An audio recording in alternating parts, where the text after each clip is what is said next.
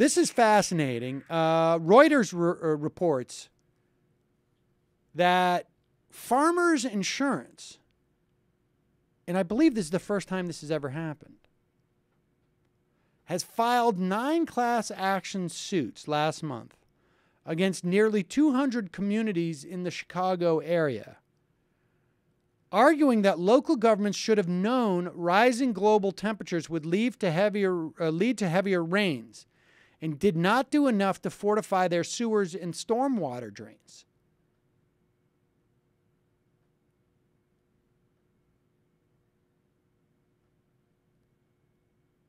This is really important because if they win this class action suit, you know, you got uh, presumably you had heavy rains, sewers overflowed, storm waters uh, drains overflowed, people's houses got um, maybe their houses got uh, their their basements got flooded. Maybe it caused damage to cars, uh, other private property that was insured and by farmers.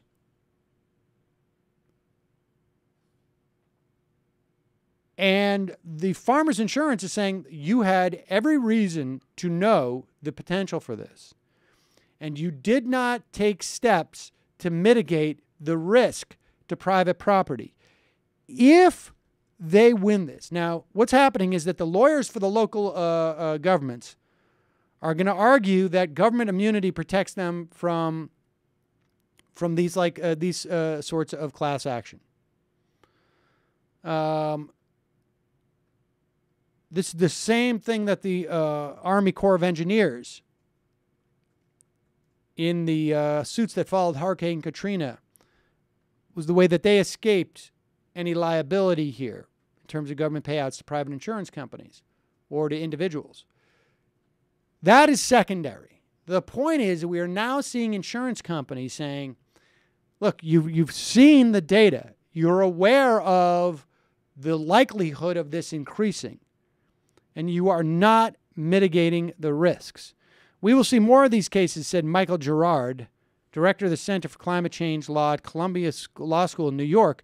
No one is expected to plan for a 500 year storm, but if horrible events are happening with increasing frequency, that may shift the duties onto municipalities. Now, in a lawsuit like this, who will pay the damages? It is the taxpayers. And this is going to put pressure on local communities. And frankly, I don't see why it wouldn't be the case. States and the federal government ultimately to do more to mitigate for climate change disasters because the data is there. I mean, this is this is the type of thing that we need to see. Now,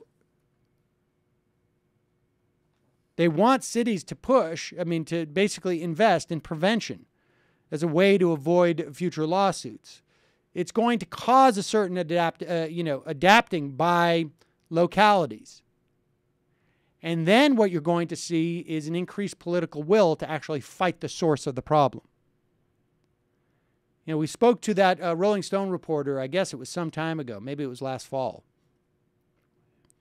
about the fact that all of the best scientific research, all of the experts, including those from uh,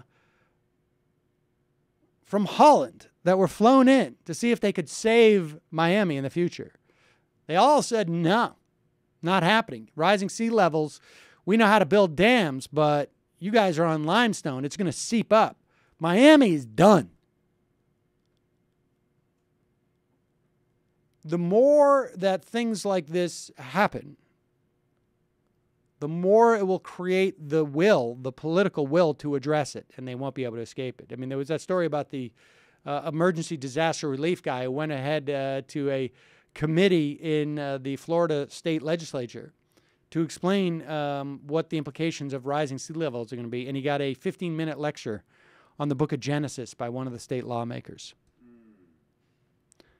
And no, Genesis is not the name of a book about uh, preparing for climate change. Well, uh, maybe it is. I don't know. Did you see Noah? Maybe we should do that.